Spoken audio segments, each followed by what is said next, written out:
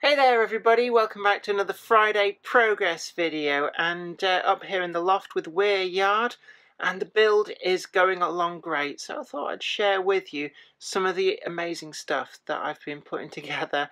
And uh, I hope you'll have as much fun watching this as I have had building it.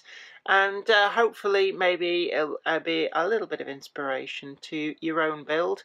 But uh, without further ado let's show you around and show you what I've been up to. It's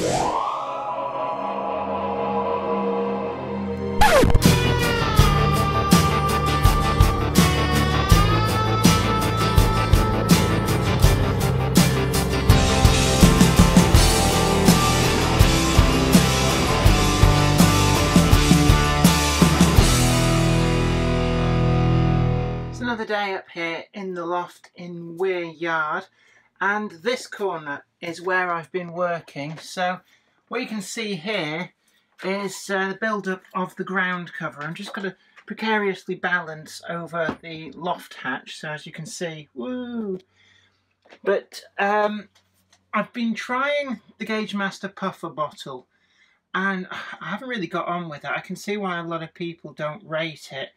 Um, it was very difficult to fill. Um, just couldn't get the stuff in uh, neatly. So I, I, chose, I tried to fill it actually over the terrain, so anything that uh, that fell out uh, wasn't really wasted. But it just proved really difficult. So instead, I had to default back to some tried and trusted methods. Um, I shook down some sand into the wet paint, sprayed over with some very diluted PVA glue. I also tried ripping off some bits of this grass mat uh, and they're in there just dotted about. Once you know where they are, you can see them, but they, they blend in quite well. Um, and just built it up. But that brown is proving very difficult to hide on the steeper bits. So I'm going to have to have a ponder how to do that. At the moment, it's making me think of uh, more North American uh, terrain, you know, a, a climate where it's a lot warmer where the uh, terrain has to cope with a lot hotter conditions. Um, but I'm going to keep building up on this. Um, I've got some uh, rocks and stuff I'm going to glue in. Uh, trees will go in, so it'll start to mute down, but that's where I'm up to. I've got to balance the track as well. I've got another area over here that I'm going to get to work on, and uh, I'm just going to disregard the um, the puffer bottle from the outset on this. I'm not going to mess about. So coat with the brown paint, sprinkle in the sand, uh, just get a sort of a layer of sand for a texture for the earth, and then spray down with the diluted PVA, and then onto that just start working in all of the grass powders I'm just scattering them by hand. I found that's the best way to do it in all honesty with you. So I'm going to get on with that. I've got uh, plenty to do. Next stage, just uh, got the brown paint on, then a little bit of that uh, grass mat ripped into pieces in uh, a variety of different places. I'm actually over here trying to put it where the slopes are quite steep, just to try and disguise that brown patching that we're getting over there to a, a little bit. I've scattered some of the little rocks that came with the Scenic Starter kit as well, and you can see there's some sand going on, but the, the plaster, uh, well it's actually polyfiller, kind of sucks the moisture out of the paint very, very quickly. Uh, but you don't want to put too much water on, otherwise it'll all go mushy again. So uh, it's a bit of a compromise. I'm now going to spray this with glue and uh, then I'll move on to the grass scatter. Well, not bothering with the uh, puffer bottle has actually, in my opinion, improved this a little bit. It looks like rough scrubland, almost like Cumbria, actually. I'm looking at the hillsides of Cumbria. It's not supposed to be. It's supposed to be the northeast of England somewhere, uh, somewhere between Tyne and Tees. But and that's all right. I've got to spray over a coat of hairspray just to fasten all of the scatter on there. You can see I think this, this bit's turned out a bit better than over there. Uh, but I'm going to be planting a lot of trees now and I'll see where I get to with that. So I think actually a lot of the trees are going to go up there. And I'm quite pleased with this. I might just get a pack of sheep or something, just have sheep grazing on this. Um, I think those little stones actually, they came out of the Gauge Master Scenic Starter Kit. They actually work really well. You wouldn't have thought it to look at oh, a few a few graded rocks, um, but actually they do give a sense of real terrain. There's a real landscape going on there. And you can see the big chunks of the grass mat in position and blended in they're not too bad actually. So yeah, a thumbs up for the Gaugemaster Scenic Starter Kit. The puffer bottle was a disappointment, but all the other materials thus far, I think I've used everything apart from the lichen, the trees, and uh, there was some sort of undergrowth stuff. Um, but uh, they all look fairly standard, so um, I've got good faith in those. But um, yeah, it's it's come together pretty well. And if I move back a little bit, you're starting to see that area look a lot different from how it was. It's easy to get carried away doing this and get really stuck in and before you know it you've done loads and forgotten to film anything. So, what has gone on? Well, you can see that uh, I've got the bridge abutments resting in there. Now, it's going to be a little bit tricky to show you. It's, it's not really something that, from most angles, you're going to really see. So, uh, again, woo, uh, big drop there, but I'm going to try and show you what I've been doing around here. This is really hard. So somewhere in there you'll see the bridge abutments all squeezed in. That's actually really hard to uh, film. And I filled in behind with some more of that polyfillery stuff and uh, just letting that set. The spirit level is actually wedging everything together. I've done some ballasting as well. You can see uh, the ballasting's all spread out. But what is going on over here? Well, the mountain is slowly growing out of offcuts of spare Jablite. And uh, this is kind of where I really got carried away. And you can see on the front, um, just gluing random bits in to fill in the gaps. It's going to get covered in the J cloth and PVA mix. Uh, slowly build up, build up and um, that's really what I'm working on. Now I don't have the tunnel portal for this end. The track there is fixed in, but no tunnel portal. So what's going to happen is that at this end, um, I'm going to have to leave a bit of a space for where the tunnel portal will all be built in. But uh, I'm going to try and do some of this other stuff here. Uh, just get all that in using scrap bits of wood, all sorts. I don't want it solid jablite uh, because that would be using a lot of jablite. Um, so you can see underneath there I've stuffed a bit of paper to the back just to hold things up. Uh, but um, all of this was ready glued together. It was an offcut from a project that a friend of mine was doing, had left over. So it's just all coming together, freestyle. And when the J-cloth goes over the top of all this, it's going to look alright actually, um, even if I say so myself. That's the plan. So I'm going to crack on some more. I've got a rock face round there that uh, still needs to be fastened in place. But it's really coming along nicely. So I hope you agree. You might not agree. Leave your comments in the uh, comment section below. Um, if you do agree, then um, do feel free to massage my ego. But uh, I'm going to get on, do a bit more, and I'll show you what I've done. Well, this monstrosity here is the shell that'll go underneath the uh, glue-soaked J-cloths. Really all it is is to uh, make sure that the J-cloths kind of uh, keep their shape. And uh, just try and get round here. You can see that they've got all the tunnels in place. And uh, yeah, you've just got to kind of imagine things a little bit. Um, smoothed out some of the sharp edges, use some of that tape as well. So I'm going to get a load of J-cloths together, soak them in PVA and water mix and start covering this up. So uh, also the other thing to do is make sure there's no rolling stock in there in case it kind of rains glue down into the tunnels. So uh, that's what I'm going to do next. I've finished making an unholy mess. Uh, J-cloths soaked in uh, watered PVA glue, sort of a 50-50 mix. I think I may have put on a little bit too much PVA though, because uh, currently got a J-cloth down there soaking up what's dripping down, and you can see the way it's run down. It's actually cleaned the ballast. Um, I will sort that out in due course, but there was actually a pool, and uh, if I look inside, you can see on the top there a huge pool of PVA forming up um, I suppose I'll just stick the track down. Hopefully it won't get too bad. Um, it is quite warm up here, so maybe it'll start to dry. This area here, I need to do something on. Uh, I need to get a single track tunnel portal for up here on the top, and uh, then all of this can be kind of finished off. Um, not really in any great hurry at the moment, even though you may think, well, if you're not in a hurry, why are you going so fast?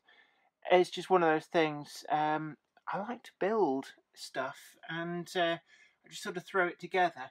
Those ready rocks that I bought have uh, gone in around the edges just to give a sense of, I don't know, a bigger mountain. Um, once all of this is painted up, uh, well, it's got to have filler and painted, and then uh, move on to the technique that I used over here, which I'm actually quite pleased with. I've also started doing a little bit of embankment just over there, just to use the last of the PVA up. Um, I stuffed in a load of brown packing paper underneath, and then uh, a couple of layers of the J cloth over the top. And um, further along here, though, it has to be a retaining wall. That's going to be recycled out of the shed, so I'm waiting on next Wednesday, Thursday, Wednesday when um, the thing that's being filmed in there is uh, going to be filmed in there so that I can then finally dismantle it. And wow, well, progress today has been quite epic. So uh, I don't know what I'll call this video. Maybe uh, amazing scenery comes together on large model railway. Zoe, take note. what I've done this morning so far as I've started to populate that hillside with some trees. Now these are mostly, all bar one, the trees that came in the Gaugemaster Scenic Starter Kit. So that's the trees that you get. I know a lot of people have been asking me about the Scenic Starter Kit. I did a bit of a review on when I first opened it. And um, I said at the time that I was quite confident that the trees would be pretty good, and I'm not being disappointed actually. I know there's some people who go, oh no, you can make trees from sea foam that look absolutely amazing. Yes, you can. I have seen them. Um, you can do that, but I'm making great pains to use what I have uh, before I start thinking about uh, adding in extras. So over there, that little hillside, I've decided just populate with the trees I've got and uh, actually I'm pretty pleased with the result. I'm you know quite happy with that. There's also one of the Skaledale Scenics trees just at the front, uh, that one there. I've moved that to the front because actually these are really quite good trees. Lots of individual pieces and um, really pleased with that as well. Uh, so having it at the foreground kind of brings attention to it, making it almost like, a, I suppose you could say, a scenic feature. So um, so yeah, uh, and what you can take away from this is if you've got a mix of trees, use the more simple ones in the background to make up the numbers and bring the better trees to the foreground uh, as uh, something that will draw the eye. Now, what else have I been up to? Well, I've moved my spirit level, which was uh, just holding up a retaining wall there whilst the plaster set. Uh, that's all done, so that has been removed and I've just uh, done a, a, scenic layer on the bit of bare plaster that was there. Again down here, just done this sort of splat of leftover plaster that's just a little bit of scenic area. That's all been done. And uh, J-Cloth Mountain is still drying. That's going to take probably a week even to dry completely before it can get the coat of filler and uh, then the top coat so that, you know, this remember this, in a later video, it will start to look more like this. And a lot of people online have commented that I really do seem to have made some really good progress. And yes, I have. But what it does show is that actually a lot of these techniques are quick and simple. You don't have to spend months or even years handcrafting your telegraph poles. There are ways and means to really effectively make scenery quite quickly. Now other areas that I need to get some attention on. This over here, which is all scrunched up newspaper. Uh, I've been told actually by my friend Les, said oh newspaper starts to smell a bit once you get it wet. So I might uh, take all that out, bin all that and uh, use something different just to fill in there. I've got some uh, ply scrap plywood formers in there as well That's just going to be an embankment up to, well, I'm not really sure what's going to be on the top there. Again, a little bit of thought's going to have to go into that. Uh, and then I'm going to have to do along all of these purlins, uh, all of these need some kind of scenic embankment. Uh, so I've got to have a think about that. Probably quite easy with J-cloth, a bit of scrap Jablite underneath just to get a sense of texture. Uh, I've got loads of offcuts downstairs which I can use. And uh, it will it will slowly progress. Um, over here, there's also been some ballasting of the outermost tracks. I talked a bit about that before. And a lot of that is down to the fact that stupid, stupid me forgot, whilst rushing away with the scenery in the foreground, that you still have to access the stuff behind to finish it all off. So that was really a concerted effort before I do anything more on the foreground to try and get things sorted. So I ballasted the track all the way around to there. Um, I need to do the embankment at the back. This will probably be the first one to get done. Um, so maybe even crack on with that today. It's really difficult to get access over there, I have to say. Major boo-boo, um, not really working from the back towards the foreground. Um, that'll teach me for being far too excited to get this turntable area done. And then that corner over there is really hard to access. But I do have some bits and pieces that I want to put there. I got a Hornby, uh, it's a Skaledale, where's it gone? Somewhere in the sprawling mess, there we go. Uh, Hornby Skaledale goods shed. Uh, the Granite Station goods shed actually looks really nice. Um, I saw one of these on another project I've been working on. So I had some royalty money come through from the US for uh, um, you know my writing side of things. Incidentally, my books are still available. Really good books uh, available from Amazon and all the usual places. Blah blah blah blah. But um, certainly some royalties came through, and I was able to pick that up. And uh, I'm looking forward to planting that over in the corner there and kind of build some of the recycled buildings as well out of the shed into a sort of slightly industrial area over in that corner. And it's a great opportunity to recycle. I do like reusing stuff from elsewhere. Keeping costs down, yes, but I just don't like stuff to just get thrown away. So um, that area will be recycle central, as will that corner right over there. Um, I'm not really looking forward to doing that, but there's a lot less in the foreground to get in the way, so I'll just move all of those wagons to get access. And that corner over there will get built up before I start building forward through all of these areas here. So yeah, let's get to it. Uh, like I said, progress is not going to be quite so rapid today. Um, you know, not really resting on my laurels. It's just that uh, some days you appear to make some massive progress, other days not. It's just one of those things, it's how railway modelling works. And really at the moment hampered a lot just by having to wait for all this to dry. And it won't be dry today, won't even be dry probably by Sunday, by the weekend. I'm filming this on a Friday? Uh, yeah, Friday. So that'll take quite some time to dry out. And then it's got to have the layer of filler on. That'll take a few days to dry out as well. So as you can appreciate, progress will appear to slow down for a bit. Anyway, I'm going to crack on. Well, this was an epic build. Um, as you can see, issues of access, that's my fault. But I've managed to get the PVA soaked J-cloth over some offcuts of Jablite right to the back there. That was really hard, really, really hard. And uh, actually you see some dirty marks there because it turns out that purlin's still covered with nearly 100 years worth of soot. I uh, didn't get it all off uh, when I built everything. Currently it's a little bit see-through, not a problem, it'll dry and get painted. I probably won't even be able to fill that because quite simply access is atrocious. The way I did it is some scrap off cuts of wood to um, spread the weight and I, I literally had to crawl over all this. Although one good thing is that all this ballast um, and the PVA that's been used has actually strengthened the baseboards quite dramatically. Um, it is quite impressive uh, how little they flexed and there's no creaking or crunching sounds which is always good. So I'm just going to leave all that to dry now.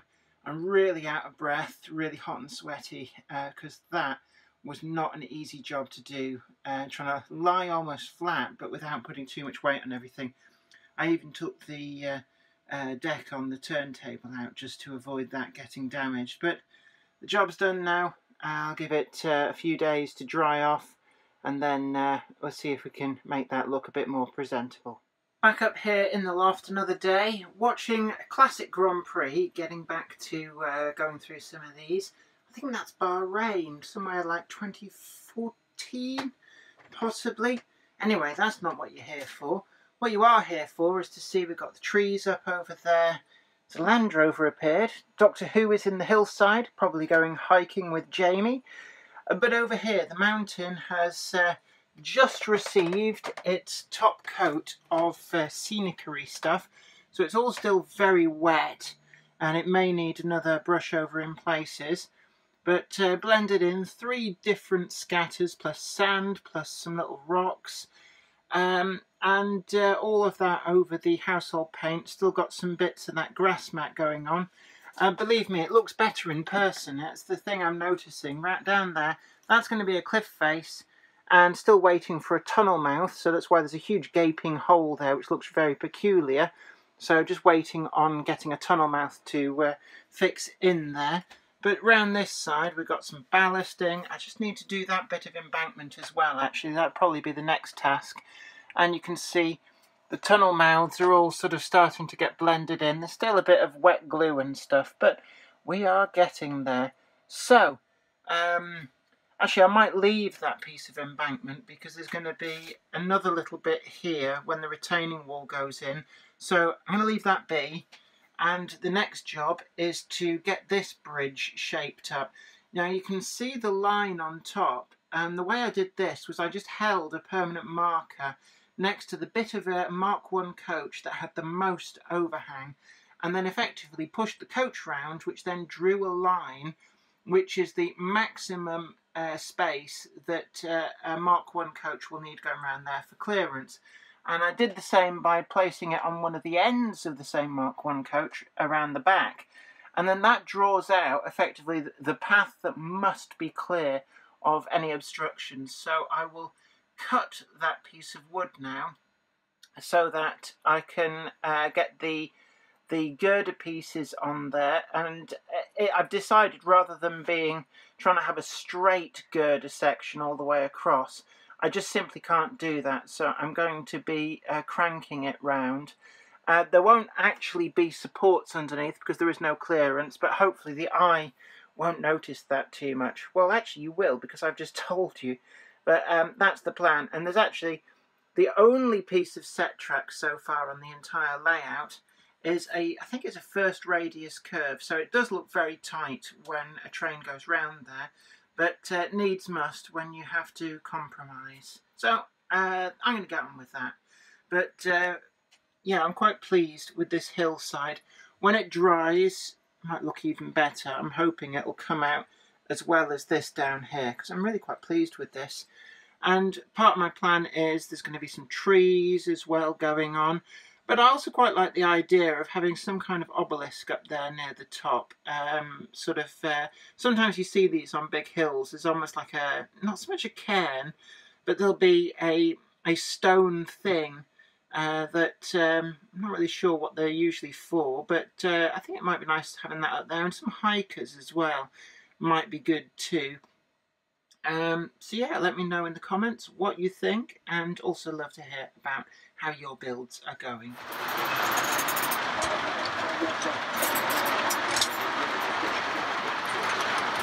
Back up here on Weir Yard and uh, what I'm actually doing at the moment um, is this area over here. I've done a lot of salvaging from the shed so you may or may not recognise the slightly cut up remains of the actual bridge that uh, the station building sat on. Station building's been removed. Um, it's been cut about a bit to enable me to have a bit there, which was actually that corner there. And that's actually glued in over the Jablite. And the reason for this is I want a fairly flat base that I can then add buildings like the original station building and a few others. And there's going to be uh, a sort of a, a, scene of buildings up there, just possibly to use them up, but also because I think it'll look nice rather than just acres and acres of countryside. You can also see over there test fitting some of the retaining walls. It's been trimmed down to the right height. need some distance pieces putting in and some trimming on the end there as well so it will sort of come down to allow that embankment to do its thing. But the method I'm using over here is more of a papier-mâché method. Uh, I just thought for a change and just so I could see how it compared to the J-cloth method. And actually what I found is using the spray bottle there with a, a fairly weaker PVA and water mix. You can sort of spray it over the paper gets a bit heavier and then you stick the next dry sheet cut up on top and then spray it and that way you're not dealing with um, messy paper the paper that you actually put on is just as is from uh, in this case newspaper uh, I know some people say oh it starts to smell when it dries uh, but it will get sealed with filler and I see a lot of people have used it with great success so I'm going to see how it goes. Um, I've still got a fair amount to do. I'm going to build up a reasonably thick layer because uh, it doesn't have the inherent strength that the J-cloths do. So um, I'm going to crack on with this and see where I get to. I'm going to call it a night at this. As you can see, the retaining wall's in. I've also got the last little bit of embankment J-cloth with PVA. Got to let that dry, a little bit of filler, and then uh, all of that can be overpainted. Once that's done, that bit of ballast, that bit of ballast will be done. Got some signals in, salvaged from uh, Trinity Road. And then over here, again, tunnel mouth salvaged from Trinity Road. Had to do some major surgery, actually, to get it to fit. Um, doesn't really do it justice on the camera. Done the J-cloth and PVA. I'm going to start um, uh, do a filler layer over that, and then grass and stuff. And hopefully make that little kink look like they meant it to be like that. Um, unfortunately, just one of those things. Um, it's proven to be incredibly difficult to uh, fit everything in uh, in the space. So uh, probably have some kind of creeper or bush growing over the top just to disguise that joint is probably the best way to do it. And uh, on the side we've got the wing wall I've managed to cut, shut, fold it round and uh, hopefully that'll look uh, a little bit more plausible. So that area is kind of coming together. And uh, yeah, uh, that bridge still needs some work. I actually ran out of track pins pinning this wall in. You kind of have to do that sometimes. So I can't pin the girders on the other side. They are knocking about here somewhere. Somewhere down there, yeah, on the floor, just around here. Just lying around. It's turned back into a tip, actually. I tidied up up here. But then I've got other bits and pieces waiting for a bit of work. This water tower, um, I've got to cut out in the roof and then I've, I've got to basically cut the building, unfold it, so it will go around this at the bottom. That's my plan. And you can see uh, Weir Yard number two signal box has turned up. Uh, the number one hasn't. Uh, I need to do some work to get that off the layout out in the shed. And then uh, Brian, who you may remember from some of the live streams, has I did a swap with him for the old Orlando Street Bridge and uh, a favour to ballast his uh, track for him. Uh, I'm not too bothered about ballasting actually, I, I, don't mind doing it. So that building is just roughly placed there. So uh, again, the goods shed next to it, roughly placed. Those two are going to be filling in in that corner. Uh, maybe get some low relief buildings. I'm not really sure. I've got some retaining walls to go along this back there. Uh, also, I need to salvage some track from outside in the shed. And then we're really motoring, I guess. Uh, but that's where I'm up to. Now, um, oh, I'm shattered. It's getting a bit late. So, back to work tomorrow. So, uh, give it all plenty of time to dry. So. I'm back up here in the loft at Weir Yard and I've been doing an awful lot actually so uh, I'm going to crack straight on and uh, show you this bridge is now in ballasted and uh, glued and uh, ballast is still wet but starting to um, come together on this uh, upper raised section and this uh, retaining walls in some signals I think I showed you those last time But this embankment now is uh, decorated. Got uh, random tree has uh, sprung up there and uh, there's another one to match it I need to salvage from the shed. But then I've also been at work round here and uh, the tunnel portal is uh, starting to bed in to the landscape. I'm Just going to try and get a better view and uh, yeah, I'm, I'm not convinced about that kink where I've had to cut it and kink it. So um, again, I'm going to have to, I think a bush, a bush, when in doubt, um, stick a bush in. Uh, but also over here, uh, just got a, a, top layer onto, I tried a papier-mâché approach, didn't really work um, as well as I'd hoped, so I've had to go back over with the J-cloths and PVA. Um, I did try with the Polyfilla, but it's just taking far too long.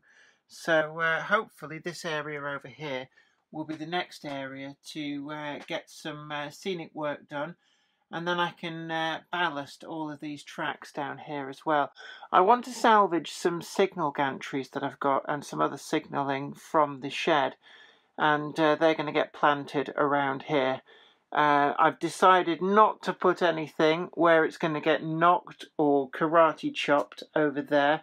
So uh, in terms of signalling, I'm going to try and steer clear of having any over there. Um, I've also got some work to do in that far corner right over there. And uh, I know I'm a, big advocate of not using this stuff, but I've got a can of handheld expanding foam, which I'm pretty tempted to use over there and, you know, do as I say, not as I do. The reason for this is there's a bit of a draft coming from that corner as well. Um, it was always difficult access and I think, you know, um, it might work better if I fill not all of it, but just the far back of it with the expanding foam, sort out the draft, and uh, I can sort of sculpt it into um, a hillside or something. I'm not really quite sure. Even just a back scene, paint it blue. I really don't know. But uh, certainly I'm going to experiment with that over there. Uh, I know I'm a big advocate for not using that for scenic work, but uh, you know, um, do as I say, not as I do. um, what else have I got to do? Not really um, an awful lot that I can see here. This is the old station building out from the shed. Um, basically station building for Bolton Trinity Road. Always said I was very proud of this building, so that is going up there on that plinth, which incidentally is made out of what's left of the station bridge. So it's all coming together. I've got to be careful actually. The thought does occur to me that if I build all this far too quick, then um, I'm not going to have anything to do. Maybe I'll get bored of it up here and I'll be like, nah, I can't be bothered anymore. No, uh, there's a lot of scope up here for trains running by. So uh, now that I've got the scenic stuff to a point where I've got a section where I can show trains going by, how's about a brief interlude of trains running on Weir Yard?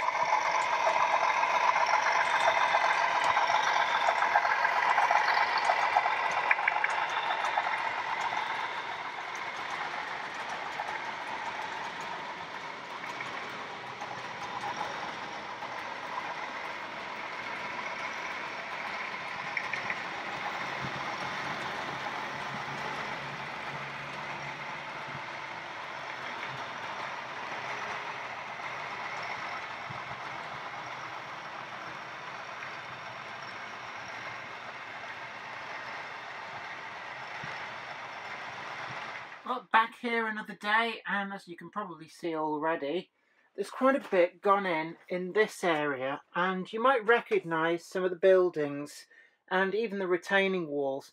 And actually, that is pure Trinity Road, just transplanted across. We've got the uh, what used to be Bolton East Junction signal box has found a new home as Weir Yard number one or number three. I can never remember which way the numbering system goes. Um, along with its little lamp hut and grounded van body, which came from elsewhere on Trinity Road. The boiler house is now on its third layout. Um, Trinity Road was actually its second. So um, that's quite a, a, veteran of different layouts. And then uh, also got a little uh, shed there, and they will represent, I guess, water softening plant uh, apparatus for former uh, water troughs, which I'm not going to model, but uh, that's my indication of what those would have been. And then the retaining wall at the back, that was where the uh, Blackburn line branched away at Bolton West Junction and uh, that's found a new home there with uh, the same Bachmann Scenecraft building sat on top. Um, there are a few more buildings to think about going up there but I want to wait for the glue to dry before I try and force things in because the space has become a little bit more limited so I don't want it to pop that retaining wall off the back before the glue has dried. So I'm just going to leave that be for now. In terms of the ballasting, uh, I will put a, a, dirty wash over some of this cleaner ballast, which was some of the earlier ballast I did. I had a lot of problems with the deluxe material, speed bond glue, and it just didn't work out. It's actually turned my track green in places, as you can see on the scissors crossing, so a bit disappointed with all of that. There is a bit more to do. I've still got um, a final little bit here of the embankment to do. I should probably cut off that little corner there of the upper layer. Um, so easy enough stuff to do. Uh, moving further round, this bridge has come together quite well, uh, ballasted. That ballast is probably still a bit wet, so I'm not going to poke and prod it too much.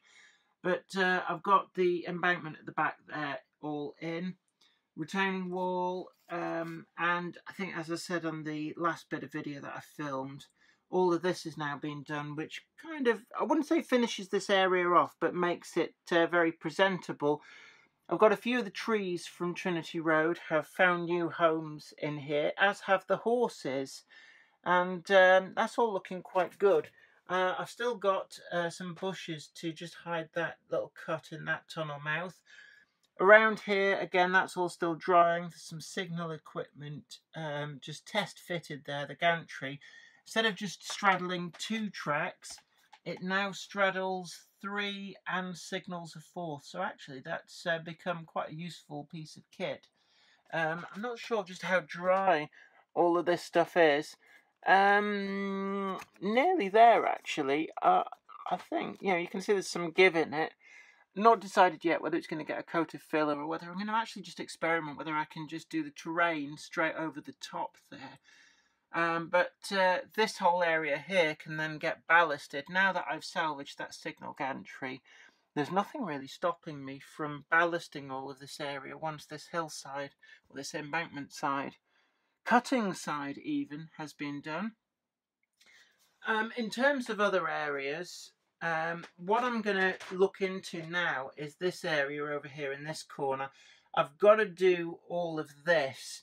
Again, I'm going to just try painting straight over the J cloth with a PVA. That's actually had uh, over a week to dry, so that should be rock solid. Um, but access, as I've said in previous videos, is really difficult. But I've been out and I've salvaged some track. So the um, next question is whether I make that yard um, purely scenic or whether I actually make it able to uh, have uh, locomotives shunt into there. I'm not entirely sure, to be honest with you. Um, I haven't decided. Um, I don't think I'm ever going to shunt stuff into there. It's whether I want to make it shuntable. Uh, I mean, I can back stuff in with reach wagons, not a problem. So maybe keep it like that, and it will give it a home for some DC locomotives which can, I suppose, be stored on sidings and there. I don't know. I haven't really thought too long and hard about it. Access is really difficult, so obviously cutting holes for point motors is going to be hard. There's going to be at least one in the double slip to match up with this one, so they'll switch as a pair. As to whether there'll be any other points in there, I really don't know. I've got a gantry crane, which probably needs to go in that area if it's going anywhere at all. Uh, again, it's all just, I'm making this up as I go along. And then I've got a retaining wall, which I need to build, which is going to go across here to match up with this. I've got to do this area. That is now stopping me from doing a lot of stuff as well. I've got all the bridges. It's just a case of building them in, building in the, the sort of stream bed. So um, a lot of thoughts got to go into that area, I guess. But that's where I'm up to.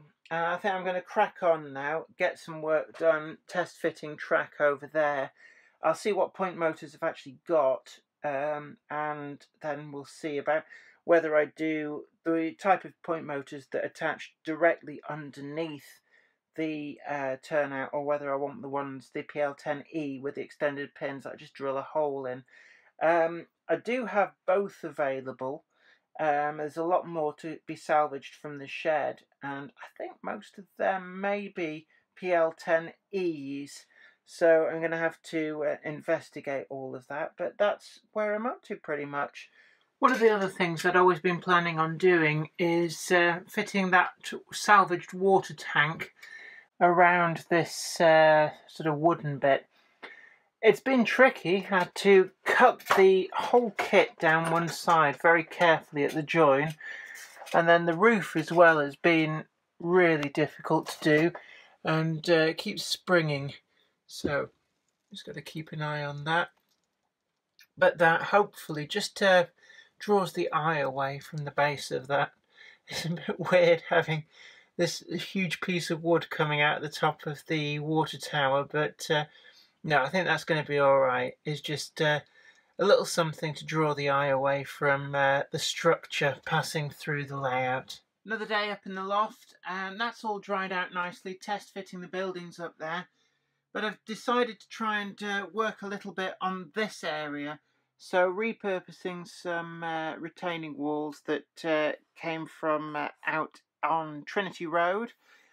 Took a lot of measuring and cutting so uh, that's now got in there, and that signal kind of gives away where this was. This was on platform 5 uh, down the back of the station, and uh, that was the platform 5 starter signal. Uh, it now signals theoretically down into this hidden area. I just left it be. Hopefully, there's enough clearances for things to get past. There's a little bit of card wall, retaining wall gone in there. I've checked clearances and that buttress is fine. I've now got to consider what I'm doing with regards to getting the uh, um, uh, bridge girders in.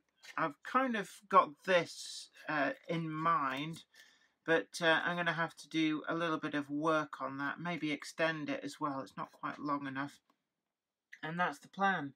So I'm going to crack on and uh, at least this ramp does actually now look more like a ramp rather than some ramshackle affair made out of whatever bits of wood that were to hand. Back up here in the loft, it's another day. It's quite warm actually, it's been a really hot day. But um, finally got the top section track laid all the way round. It's really what I've been concentrating on at the moment. So uh, you can see here the line comes through. That's the point that uh, I've got to put a triangular piece in here just to extend the baseboard. A bit like uh, what I've done over here but uh, a little bit bigger. Um, that's not really a big issue to be honest with you. And uh, I've got that link through there. This was actually the toughest point uh, because that's actually quite a steep curve on both of those and to get them to line up has proved very very difficult. But I've got it done and you can see as well the retaining walls track laid on top. Uh, this little uh, bridge area here just to kind of neaten up where this track dives under. Uh, these are going to be embankments on the side. Same for the other side. I'm going to use the shaper sheet, the woodland scenic shaper sheet to uh, do all of that. Then the track's up and it meets up with the tunnel mouth and back round. So this is the first test run. So I've got a um, mostly van train there and uh, a 25 and uh, I've already got it uh, dialed up So, I'm going to get the, um, let's have a look. Need a little bit of speed. That should do it. And let's see it go around. This is the first time I've run track number four. It's been a state of partial built for quite some time. That seems to be getting around there okay. That was one of the problem areas. I have every faith in the Woodland Scenics uh, risers there, so this bit I wasn't actually worried at all about. Through the tunnel.